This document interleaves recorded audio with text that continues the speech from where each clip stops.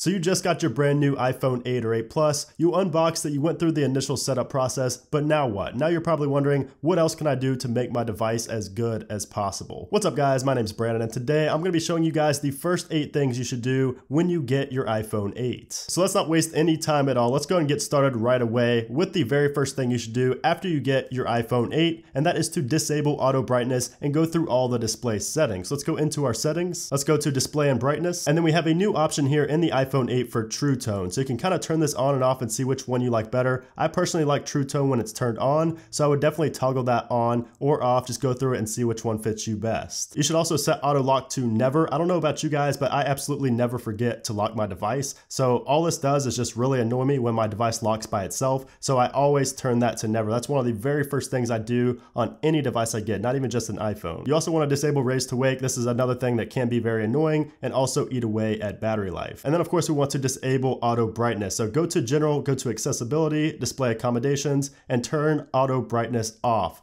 It's in a new spot here in iOS 11, so it may be hard to find for some people that were used to iOS 10, but go ahead and disable auto brightness here. It can also get really annoying and eat away at your battery life. All right, so now that your screen will actually stay on when you're trying to configure these settings and do things on your phone, now we want to configure the passcode lock and touch ID. So let's go down to touch ID and passcode, and then you wanna go ahead and make sure you have whatever you want checked off right here. And now is also a great time to add more than one fingerprint. Or if you skip touch ID in the initial setup process, it's a great time now to go ahead into settings and add your fingerprints. So now you have secured your iPhone. So now we're gonna go ahead and customize something that we're gonna be using a lot here on the iPhone 8, and that is the control center. So if you swipe up to get the control center, you're gonna notice at the bottom here, we only have four toggles by default. So we wanna go ahead and change that. Let's go to settings, control center, customize controls, and now we're able to add in toggles to the control center and also move them around. So some of the ones I would definitely add to there are screen recording, low power mode, do not disturb while driving, and I also like to have quick access to my notes. So I'm gonna add notes in there. If you go ahead and swipe up, you're gonna notice that it changed immediately, no need for a respring or anything like that. So now it looks really clean down here and we have a lot more options than we had before. And the great thing about this control center as well is you can 3D touch on each toggle here and get more functionality. So you can go ahead and change the flashlight brightness right here just from 3D touching on it. You can see, you know, the set timer for 15 minutes.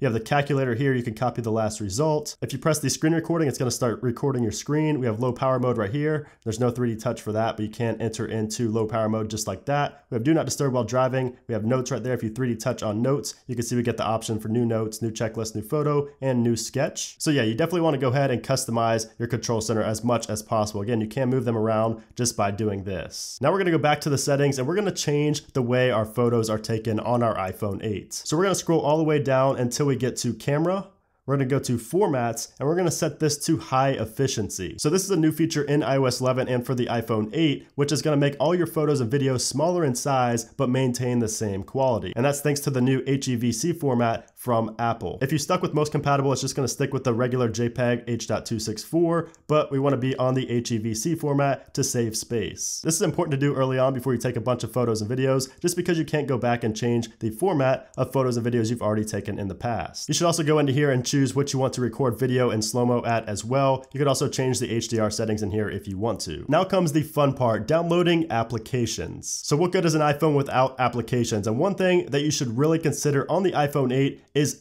AR applications, which is augmented reality. There are some amazing AR apps out there, especially SkyGuide AR is an amazing AR application. We have Tape Measure, which is really awesome. We have IKEA Place, which is really great for placing fake furniture in your house. It makes it look really realistic. It uses AR to put furniture in your house, which is awesome. So I'd definitely go ahead and recommend checking out some of these AR applications to really take advantage of all the features that the iPhone 8 has to offer. Now, if you're not really into AR and you don't really want any AR apps or you already have them, you can go ahead and get some new apps by watching my best iOS app series, which you can find up in the cards right now. That's going to show you a ton of amazing applications in 2017 that you should definitely have on your iPhone 8. Again, you can find all those applications by clicking the link in the cards or in the description down below. So once you've downloaded some AR applications and some regular applications, maybe some games, you're going to have a pretty disorganized screen. So we're going to want to go ahead and customize that and clean it up a bit. So we're going to be moving applications around, making folders, finding a good background, things like that. So one of the new features in iOS 11 is the ability to move multiple app icons at once. So all you have to do is go into wiggle mode and simply tap on any other icon and you can select multiple icons at once and move them to another page or to a new folder, whatever you want to do. So this is very useful and you should definitely take advantage of that feature in the beginning when you're customizing your home screen. And of course, if you just want to make a folder, go ahead and tap and hold and then just drag it onto another application and it will make a folder just like that. So if you want to take it out of there, just take it out and the folder disappears. So you can see I have a really cool background right here and another cool one for my lock screen. So I'm going to leave some links down in the description below for a good place to find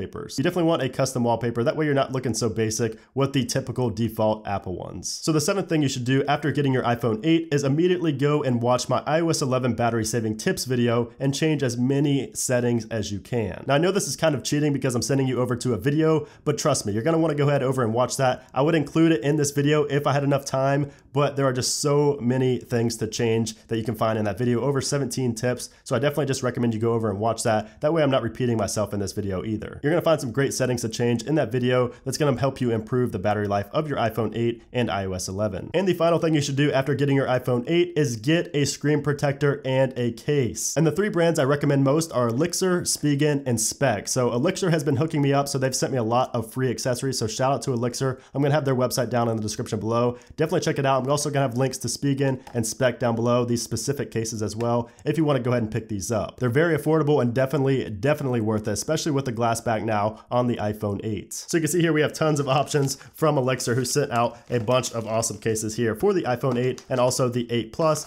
but this is probably my favorite one right here. Really cool looking black and gold case for the 8 Plus, which I'm definitely gonna be rocking. So once again, I always say it, but I'm gonna say it again, get a screen protector and a case for your iPhone 8. You're not gonna regret it. You know, it's better to be protected than to pay a bunch of money to get your iPhone repaired. So there you have it guys. Those are the first eight things you should do after getting your iPhone 8 or 8 Plus. I hope you learned at least one thing new in this video and I also hope that you have your iPhone up and ready to go with all the right settings enabled. If you did enjoy the video, I'd appreciate it if you gave this video a thumbs up. Also make sure to subscribe for a lot more iPhone 8 and iPhone 10 coverage in the future. But anyways guys, thanks again for watching and I'll see you soon.